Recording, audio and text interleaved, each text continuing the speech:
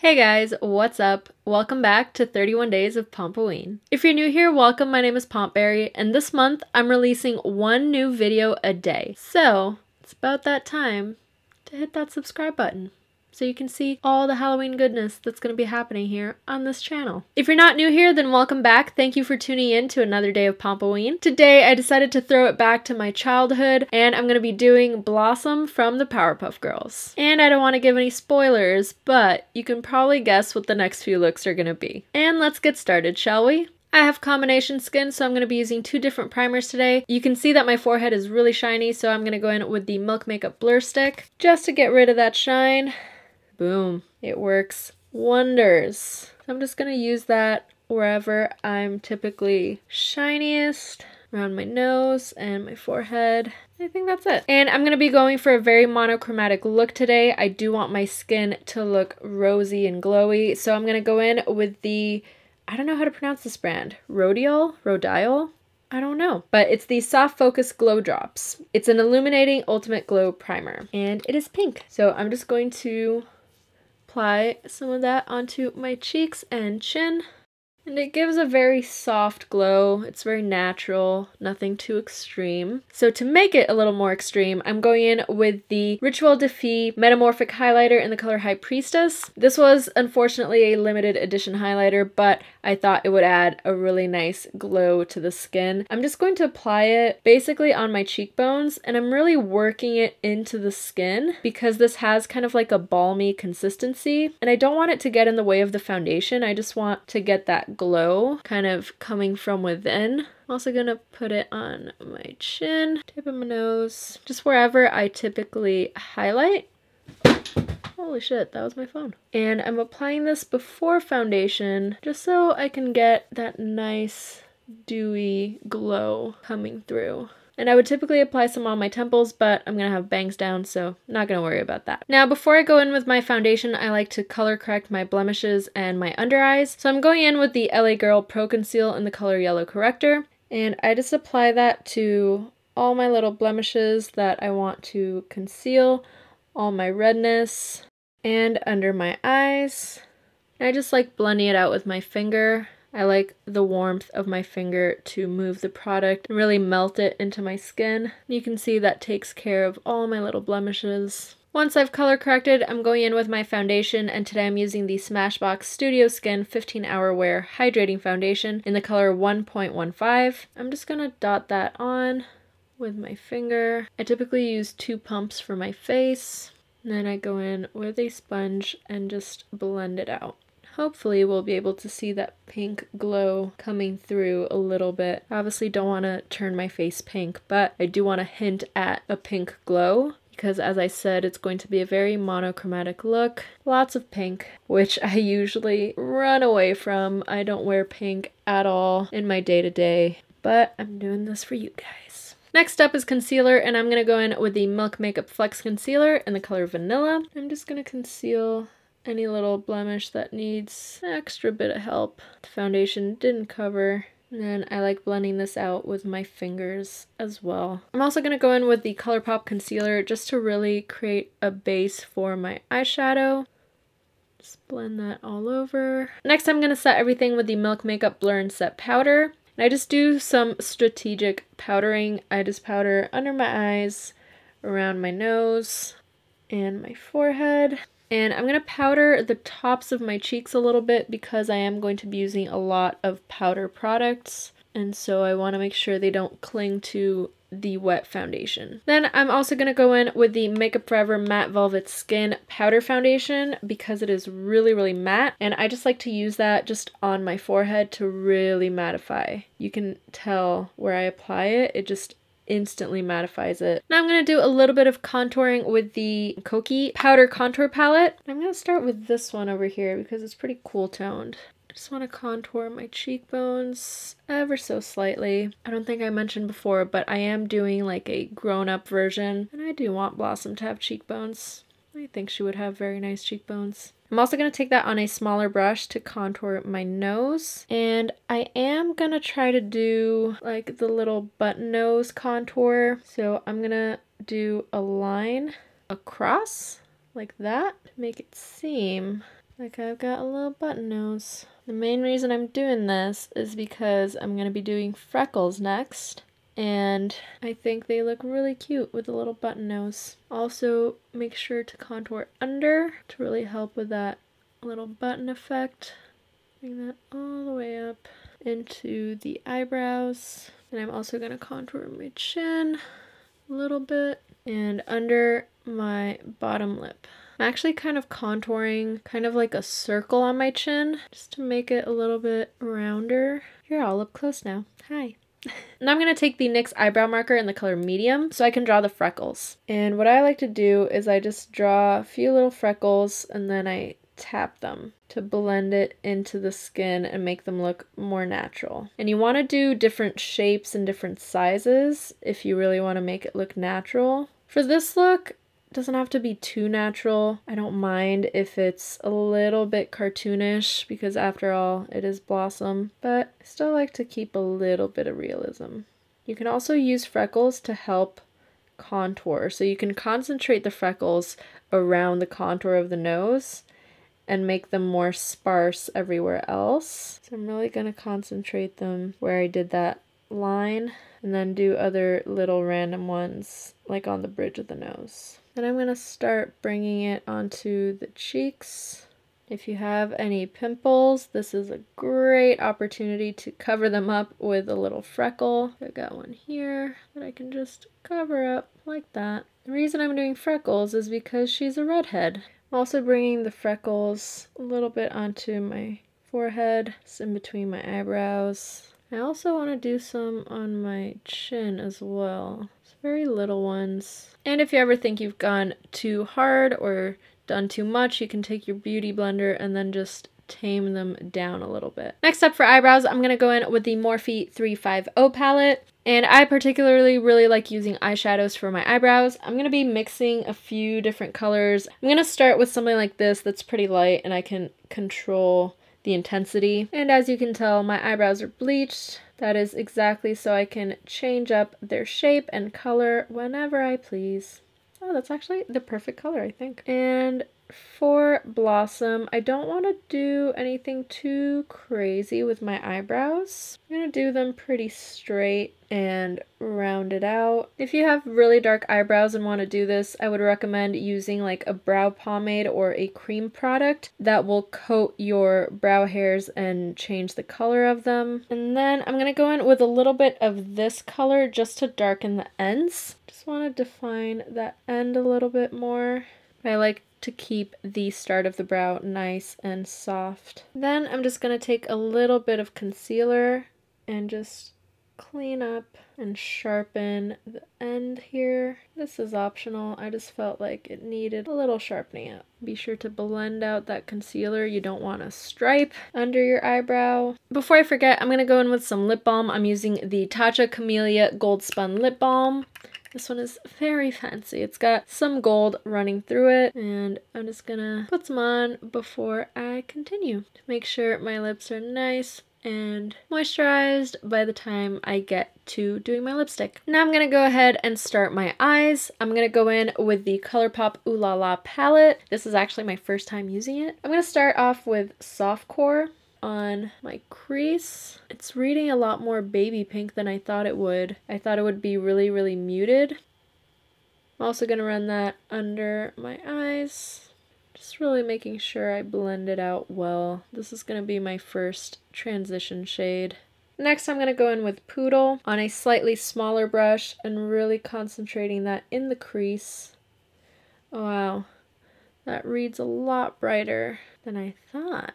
Interesting. Thought these would be much more muted tones. I thought the pops of bright pink would be these. Seems like these are pretty strong too. I think to mellow this out a little bit, I'm going to go in with the Creepy Cute palette by Shroud Cosmetics. And I'm going to go in with the color Strawberry Milk.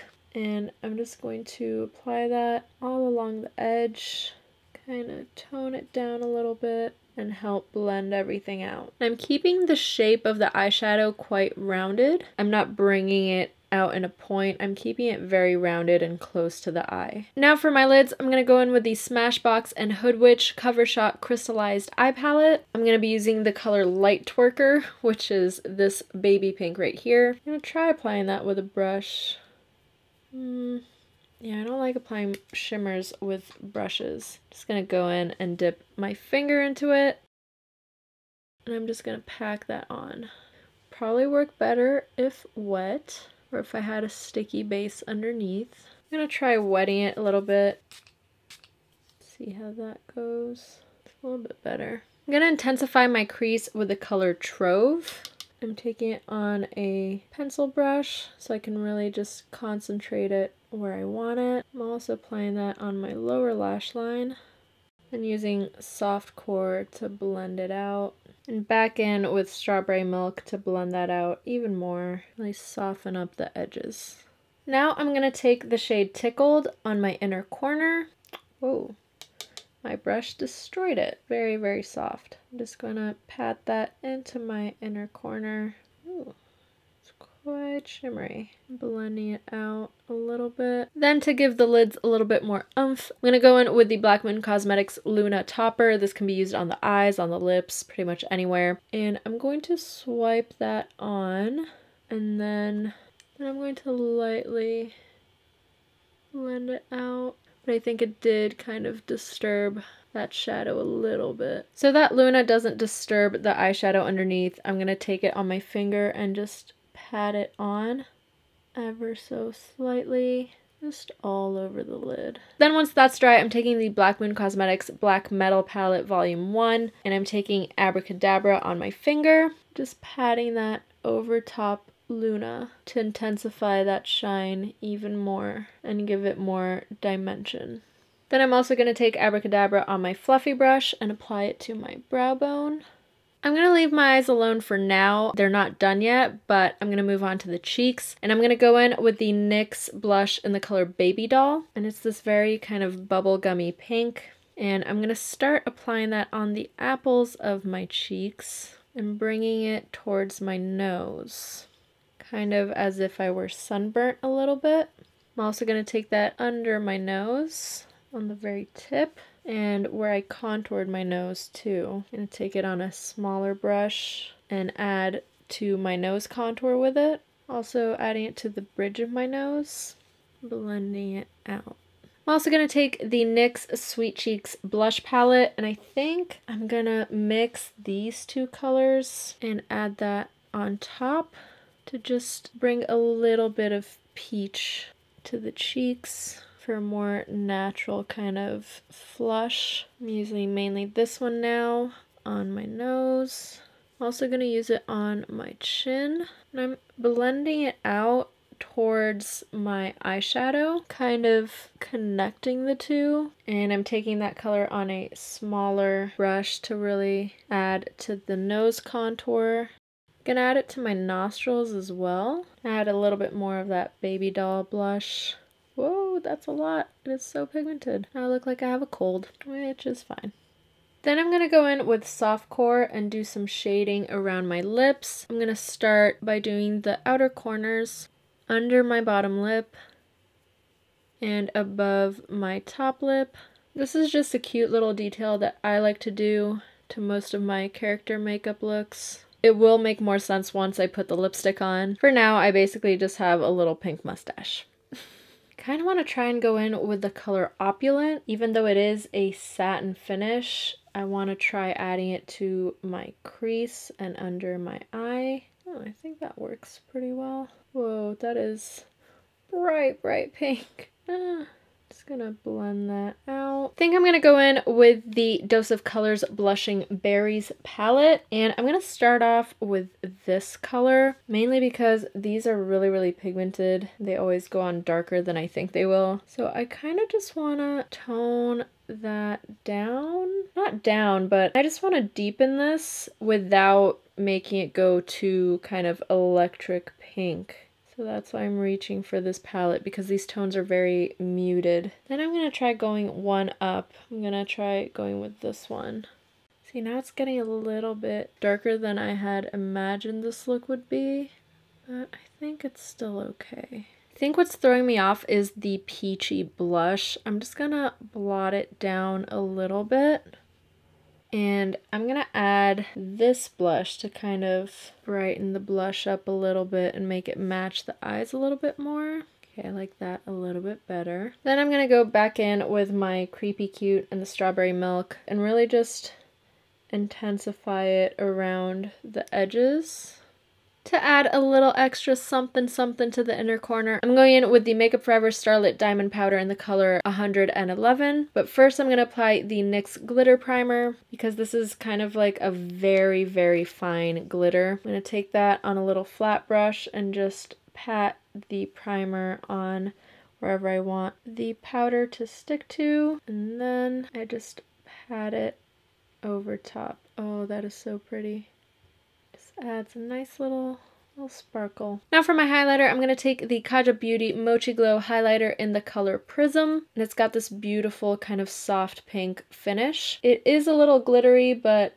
because it's Blossom, I don't mind too much. Normally, I don't like highlighters that have glitter in them, but because this is a character look, little glitter never hurt anyone. I'm also going to add a little bit of that to the brow bone to just marry everything together. I'm going to add it to my chin, to my cupid's bow, to the tip of my nose, and to the bridge of my nose. Now I'm going to do a little bit of a cat eye with the Fenty Beauty Fly Liner. I'm going to make it thicker on the outer portion of my eye. I'm leaving it kind of short and stubby. Stopped to eat some jackfruit, now my hands are all sticky.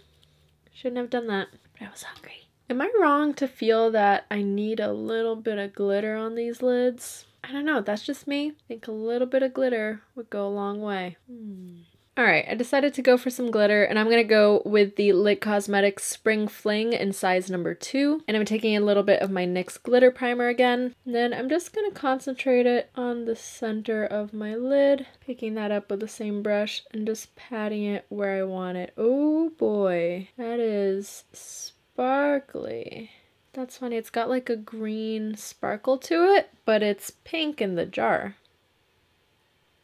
I thought it would give off a pink sparkle, but it looks cute. Not mad at it. I'm going to leave lashes for last and I'm going to move on to my lips. Okay, I tried like a million different pink lipsticks and my lips are pretty raw at this point, but I think I've settled on a combination that I like. I'm to start with the ColourPop and Hello Kitty Ultra Satin Lip in the color Lock Diary. I'm to take that on a little brush so I can do the contours of my lips. And to get a really cutesy pouty lip shape, I really like to overline my cupid's bow and the outer corners, but I don't overline the rest. Then once I'm happy with the shape, I'm going to fill it in with the Ink of Elation lipstick in the color Cream Soda. And this is a much more cool toned kind of baby pink. I'm just going to fill that all in and then use my brush to blend the two together. Then I'm going to take that dark color again and just apply it the inside of my lips to really give a pouty effect. Then I'm going to also blur out the outer edges, have it blend in with that shadow that I added earlier. I'm going to intensify that a little bit. Then I'm going to take my concealer on a teeny, teeny, tiny brush and I'm just going to create a little outline around the lips. And you'll still see that pink shading, but now there's a little line separating it from the contour of the lips. And I'm actually going to bring that around here so that you can see then to finish off the lips, I also want to add a gloss from the ColourPop Hello Kitty collection. This is in the color Super Cute. I think that just gives a nice little touch of shine. Now that the lips are done, I'm going to finish off the eyes and then that's it. I really want to emphasize the eyes, so I'm going to go in with the NYX Jumbo Pencil in the color Milk and I'm going to just line my waterline with that. This is definitely my go-to white pencil. You can see why because Buttercup has huge eyes, I definitely want something that will make my eyes look bigger than they actually are. Now I'm just going to go in with some mascara. I'm going to go in with the Maybelline Colossal Big Shot Mascara, just because I haven't used this in a really long time. trying to use up all the products that I haven't used in a while to see if I want to keep them in my collection or clear up space for new products. Yeah, I don't know if this mascara is doing it for me. I don't think so. I'm gonna have to switch over. I'm just gonna go in with my trustworthy Milk Makeup Kush Mascara. I really want my lashes to be super black and super intense. And I know that this will do the trick. See, look at that difference. I do want very kind of cartoony lashes, so I am piling it on thick. Now for fake lashes, for my top lashes, I'm using the Rouge and Rogue Belle de Nuit lashes.